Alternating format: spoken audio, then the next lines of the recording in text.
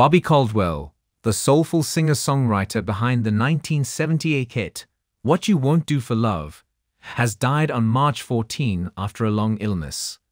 He was 71. His wife, Mary Caldwell, announced the news on Bobby's Twitter, writing, Bobby passed away here at home. I held him tight in my arms as he left us. I am forever heartbroken. Thanks to all of you for your many prayers over the years. He had been floxed. It took his health over the last six years and two months. Rest with God, my love. Caldwell's signature voice transcended genres of jazz, R&B, and rock as his soulful hit song, What You Won't Do for Love, ascended the Billboard 100 charts after its 1978 release on the debut album of the same name. Caldwell was born in New York in 1951 and was raised in Miami.